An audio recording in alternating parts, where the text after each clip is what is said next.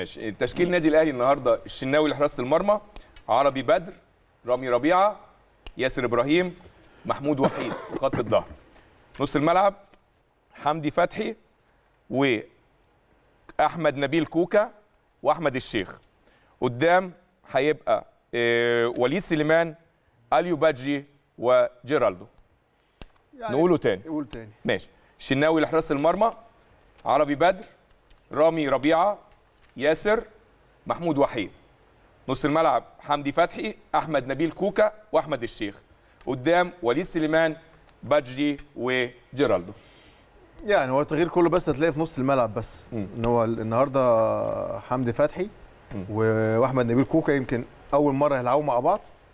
لكن أعتقد هو مستر موسيماني دام عمل التشكيلة والتوليفة دي أيمن يبقى هو متأكد من الأداء بتاعهم واضح إن عربي بدر خلاص هو مركز هيبقى بديل محمد هاني تقريبا.